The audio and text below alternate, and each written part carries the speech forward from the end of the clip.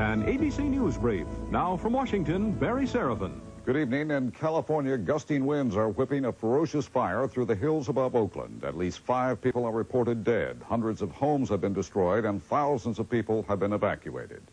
A Shiite Muslim group in Lebanon says it will release an American hostage by tomorrow evening. The kidnappers, who reportedly hold Americans Jesse Turner and Alann Steen, did not say which hostage would be freed.